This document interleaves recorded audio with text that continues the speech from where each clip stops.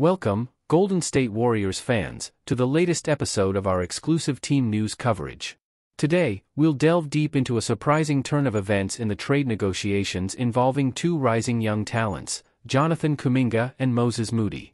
Get ready to uncover the details of this decision that has shaken the Warriors universe.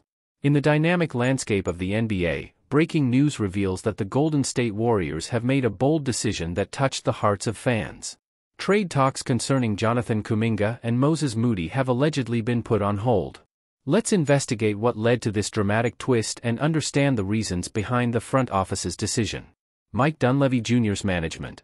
To better grasp the situation, it's crucial to analyze the perspective of the man making these decisions, the Warriors' general manager, Mike Dunleavy Jr. According to reliable NBA sources, Dunleavy Jr. sees extraordinary potential in both players and is determined to keep them on the roster.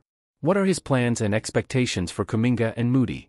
On the hardwood, Jonathan Kuminga and Moses Moody have demonstrated stellar performances, leaving an indelible mark on the court. Kuminga, boasting an average of 13.4 points, 4.1 rebounds, and 1.6 assists per game, has showcased a versatile skill set that extends beyond scoring. His ability to contribute across multiple facets of the game reflects a promising potential that aligns with the dynamic needs of the team.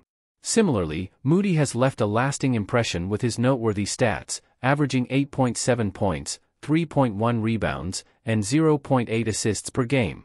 Moody's consistent performance, especially as a scorer and a contributor on the boards, underscores his value to the team's overall strategy.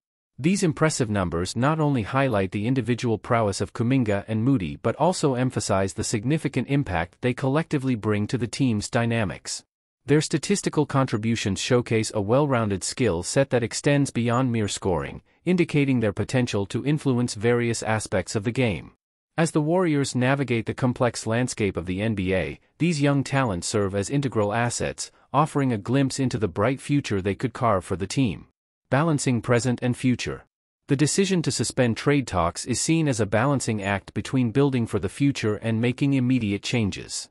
Under Dunleavy Jr.'s leadership, the Warriors are adopting a strategic approach to ensure the team develops solidly, considering both the present and the future. But how will this impact the team dynamics?